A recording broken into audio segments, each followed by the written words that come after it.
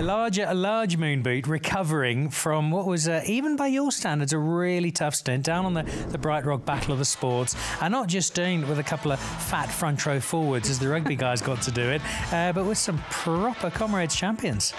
Yeah, it was an amazing experience, but yeah, I was doing it with Bongamusa Mthembu and David Gatebe, the two current Comrades winners. So I was up for a big challenge, um, but it was, it was great. I loved it.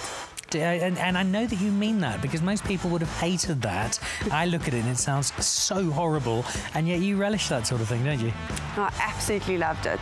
Um, there were times during it where it was very painful, and maybe I didn't love that specific moment, but overall it was the most incredible experience, and to be able to give back and do something in this year that we've had to raise funds and help in my little little way. It was just something so special and I have absolutely no regrets. Yes, I came off with an injury, but that's life, that's sport. Um, it's so easy to celebrate the victories, put your arms in the air, but really it's how you overcome the difficulties or injuries that define you as an athlete and a person in life, I guess.